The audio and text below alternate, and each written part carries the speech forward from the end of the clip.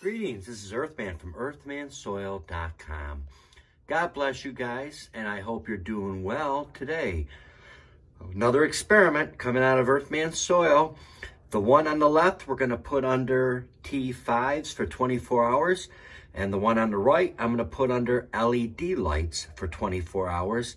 And we're going to see which one does better, if any. So, what do you think? Do you think LED will do better? Um, they're very strong, the 600 watt LED, and I'm gonna put them under it, probably you know, a few feet.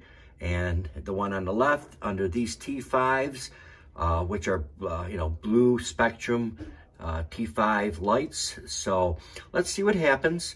Uh, LED versus T5 when it comes to vegging plants. Does it matter or does it?